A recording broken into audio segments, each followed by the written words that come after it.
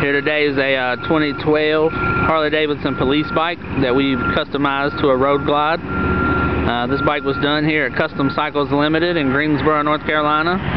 You can check us out on the web at customcyclesltd.com. The bike features a 30-inch uh, Foose Outcast front wheel with a dual matching 11.8 rotors. We powder coated the stock forks and added two over Arlen Ness fork cans has a uh, 30 inch metal wrap fender. Um, Speed by Design denim chin spoiler.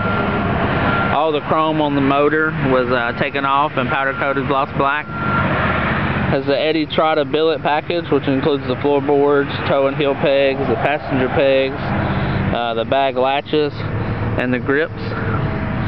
Has um, the what we call the felon handlebars, which are 16 inches tall and pretty wide.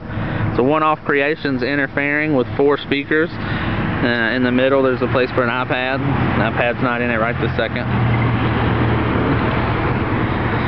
Has a stretch tank and side cover kit with low profile dash. Um, has the comp killer rear end on it. Bags and rear fender. 6x9 speaker lids. Has a uh, custom two-up seat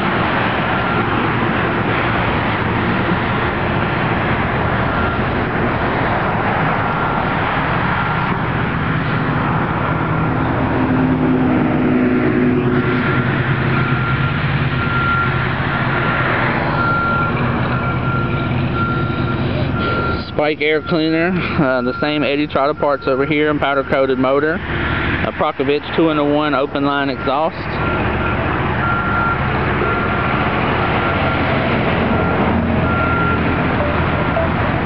Has a 3D windshield. Also has a custom headlight bezel, Daymaker headlight.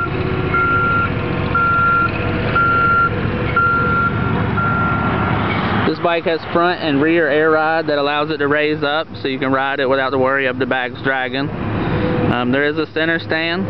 This center stand will motorize down then you let the air ride out and it'll park vertically.